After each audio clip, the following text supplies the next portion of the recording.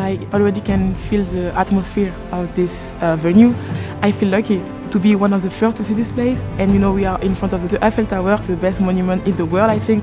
I think it's a real privilege to compete just in front of this monument.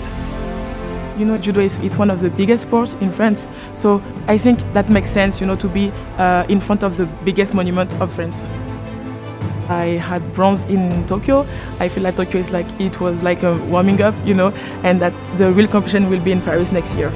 We won the first edition of the Olympic mixed team. We all know that the Japanese they want the revenge, but we will be ready. No chance that we are not gonna win at home.